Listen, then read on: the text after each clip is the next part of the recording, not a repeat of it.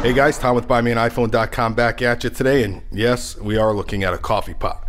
Now I know this is not going to be a tech review in the true sense of tech, but I've got to tell you, this coffee pot has some brains to it. So I've been using this for about a month or so. I received it as a gift for my birthday, and I wanted to kind of bring you guys what I thought is a, a, great product. In our industry, we tend to trash bad products, so I wanted to make sure that we praise good ones. So this is the Keurig B70 Platinum Series. Okay, it retails for 179 on uh, Amazon and a bunch of other websites.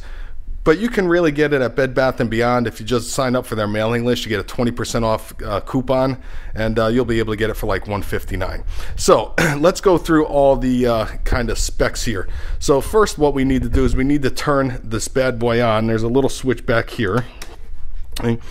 And uh, it'll start heating up. The LCD screen goes on. As you can see, there's this humongous reservoir here. I mean, it's, I'm not sure, it holds over 60 ounces. I'm pretty sure it's 60 ounces. I don't even know about that.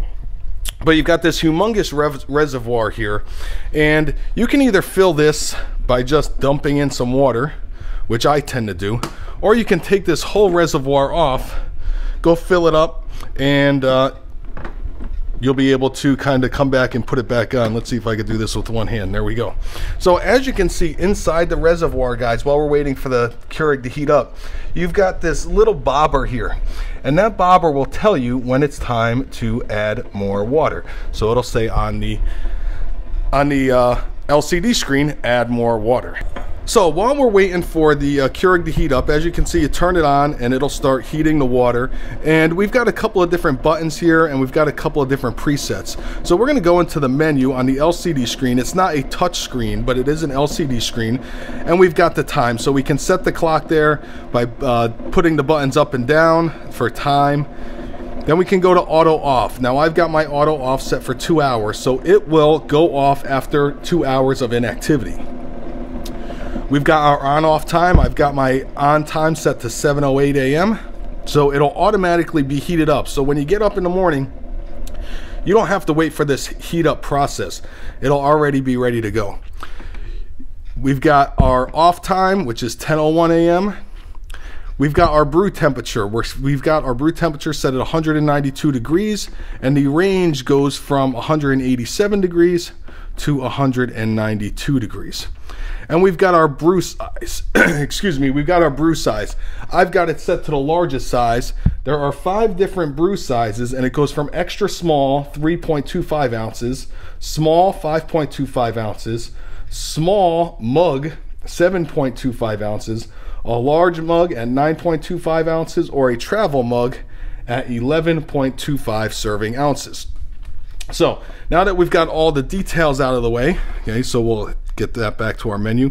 So that's what it'll say when we're ready to brew. So we are ready to brew. Okay, so what we're gonna do is uh, we've got our drip tray in here. And if you've got a really large mug or a travel mug or something using the car, you can take that off, get a big one in there. Or we've got the uh, tray there. So we're gonna put our coffee mug under there. That fits in nicely. And then we're gonna pick a K-cup out of our uh, kind of stash here. So we're gonna use Barista Prima Coffee House French Roast. So what we do is we open this up and we've got two pins in here. We've got one pin right here and we've got another pin way up here. So what we do is we pop our K-cup in there, we close it, it'll puncture that K-cup in both the top and the bottom, okay? and then we press our brew button. And then it will start brewing. So it takes a couple, I wouldn't say a couple minutes, it probably takes about 30 seconds to brew this cup of coffee. It'll start shooting the water in. As you can see, the water level in the reservoir is going down a little bit. It is brewing our cup of coffee.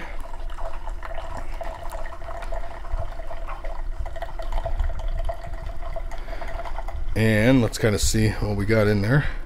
It is getting up to level.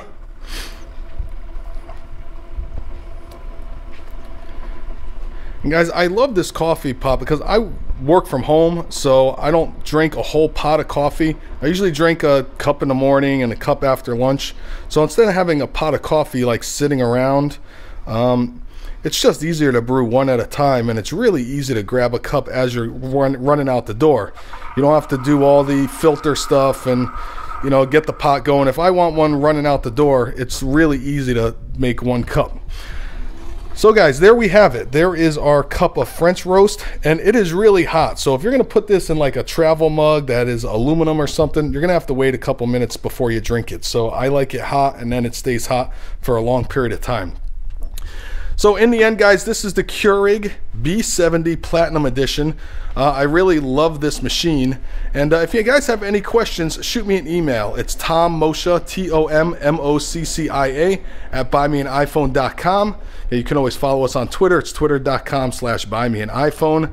If you want to follow me personally, it's twitter.com slash nerfsqueezer. I should say when you're done, okay, I wouldn't take this out right away because it could be, be hot, so please be careful and then you just trash it like that. Again, guys, thanks for watching. I really appreciate your support. Remember, tell the ones you love you love them today. And until the next video, you guys have a great day.